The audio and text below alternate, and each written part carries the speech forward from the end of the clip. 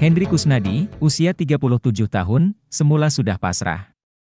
Dan tidak menyangka sepeda motor Yamaha NMAX dengan nomor posisi Z 2154 bisa ketemu lagi dan kembali ke pangkuannya, maklum sepeda motornya tersebut sudah hilang cukup lama, yakni sejak Rabu 11 Februari ketika rumahnya di Dusun Lumbung Sari RT 18 RW 08 Desa, Kecamatan Pamarican digasak maling saat dini hari. Kawanan maling yang dikemudian diketahui berinisial AL, 56, asal Purwaharja Kota Banjar dan S, 56, Sal Palakaran Pemalang Jateng tidak hanya membawa kabur sepeda motor NMAX milik korban, tetapi juga berhasil menggasak satu HP dan uang tunai Rp900.000 pada kejadian tersebut, menurut Hendri yang didampingi istrinya kepada Tribun Jumat 28 Juli ia sebenarnya sudah pasrah atas kehilangan sepeda motornya yang digasak maling bulan Februari lalu.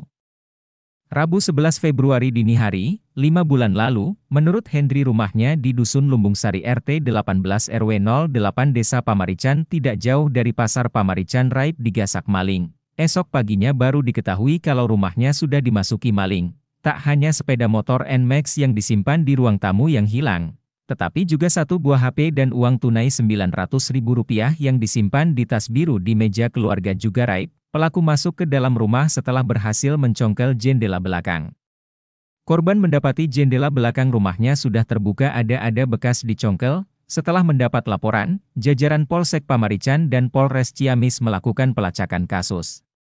Akhirnya dua tersangka berhasil dibekuk Rabu 17 Juni malam bulan lalu.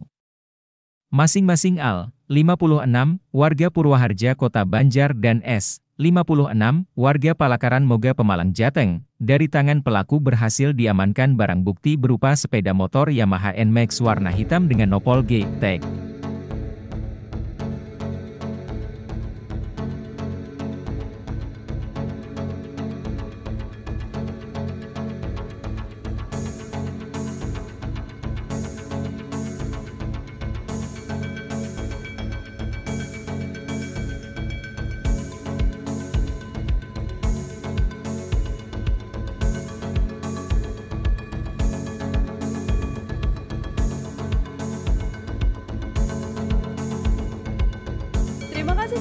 Nonton.